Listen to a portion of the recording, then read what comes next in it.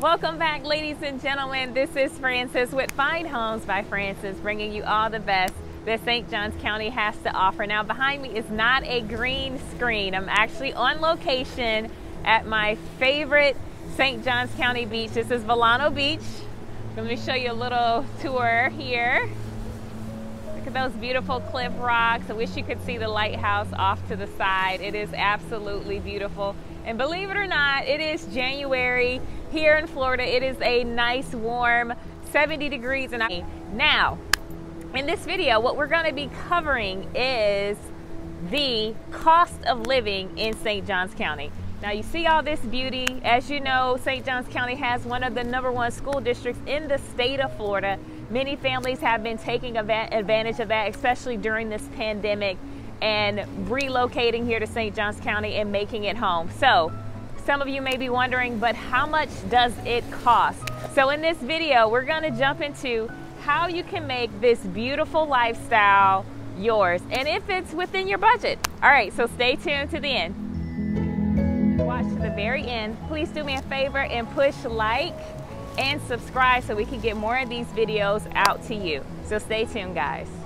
All right, let's jump right into it as far as our housing prices first. As you know, nationwide, there has been a mass supply shortages of homes, supply shortages of builders being able to get construction materials. Even when I worked for a builder during the pandemic, we saw in one month a $20,000 increase in our prices just because um, of lumber shortages. So they had to pay $20,000 more per house just to get lumber. So nationwide, the supplies are harder to get, so the prices are going up because they're having to pay more for the same material. So here in St. Johns County, the average home price you add at least 400,000, okay? At least 400,000. That's going to be the base, okay? Now for for what people reach out to me most about, which is a four bedroom, two bath, 2,000 square feet, I would be prepared for the low 500,000s at minimum, okay? Low 400,000s, low 500,000s at the minimum,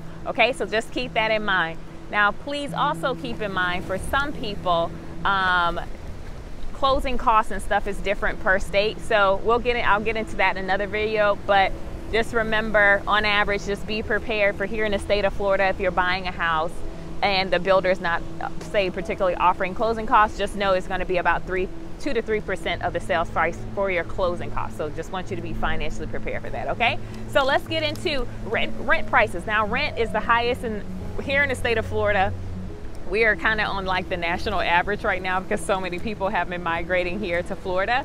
So here in St. Johns County, rent prices for say a one bedroom, you're going to be looking about 1600 okay? And for say an actual single family house, four bedroom, two bath, you're probably going to be looking closer to 2500 okay? or, or more depending on the location, okay? Now let's get into the taxes, property tax. Now, as you know, your income tax, thank the Lord for Florida, okay? You don't have to worry about your income being taxed here, so you can keep all your money. But of course, if you own a home in this area, you will still have to pay property tax. So property tax here, if you take the sales price of the home times 1.2%, that will give you kind of an average of what you will be paying. Okay, granted, I'll leave the website below for the um, St. Johns County property appraiser so you can enter the address of the neighborhood to get a kind of better idea of the estimate, but that'll give you a roundabout. Most of my customers, they pay no more than 4000 to 6000 for say some of the, the larger homes that they may have, right? Okay, so um, for a good price. Also, other things that you have to keep in mind when it comes to um, buying a home here in St. Johns County. We have something here um, called CDD fees. So if you stay in a community like Shearwater and some of the other ones featured on my YouTube channel where they have luxury style amenities and it's a master plan community, just know oftentimes many of those have what we call CDD fees. What that means is a community district development fee. I'll get into what that means later, but basically to develop all those amenities and to pay for the staff that runs those communities is a fee that's involved, okay?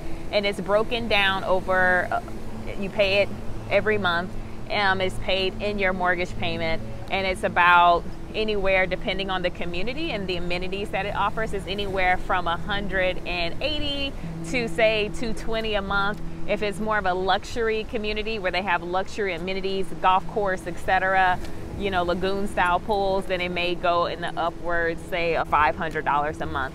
Not every community here in St. Johns County has that CDD fee, but you should be aware that that could come with the cost of whether, especially if it's gated and it has a guard there, every day of the year, then it's going to come with a fee because someone has to pay the staff to maintain that community, all right?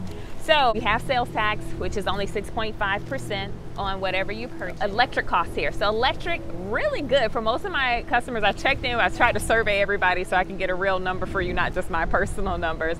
So even with my families that have, say, five kids, etc. for say four people living in the house. I'll just say that four to five people in the house. Everyone was still under 150 a month for their electric, which I thought was really good. It looks like the sun is shifting, guys. So I'm going to make this fast. Okay. So electric was still under 150 even for larger families. Granted, most of my customers have newer homes that are no more than five years old, so they have the newer appliances. So that seems to help when you have the newer energy efficient appliances, okay? The things to keep in mind, Florida is what we call a no fault state. So what that means, I'm trying to find the sun guys. so Florida is a no fault state, meaning our car, when it comes to car insurance, we have something you have to have is called PIP, which is personal injury protection. So some people said their insurance went up when they moved to certain states because they from certain states because they didn't have to have PIP. But for the most part, most of my um, customers I surveyed, including myself, I pay no more than 130 a, a month. Granted, because I had a ticket. Don't tell anybody. I had a few tickets. Okay, but um, my customers from out of that move here from out of state that I check with that have families of four, they said they're paying no more than $100 a driver to no more than 120 a driver for their car insurance. Now the health insurance kind of varied because everyone has a different employee. It seems like those that work for the state and for the government, their um, their car, their car, sorry, their health insurance was significantly less. Like back when I was a teacher for ever a dec- decades or whatever, I paid no more than say a hundred. I think less than that, like $70 a month. And I had the deluxe of the deluxe insurance, but most of it because the state was covering a lot of it, okay? So for those that have regular employees, I've heard someone pay as high as $400 for a family of four to some paying six. To my dad and my stepmom, they pay no more than 200 a month with their employer, okay? So let's go. So let's go on gas. It's only $3, $3.20 a gallon here. Um, groceries, for the most part, most families said even of a family of four, they were spending no more than $500, $600, you know, depending on if you eat organic, whatever. Um, going out here, you're still going to be doing better than most places. You're, going to be hard pressed to find restaurants except for those of fine dining where you have entrees over $30 here. So you can really enjoy yourself um, for a good price.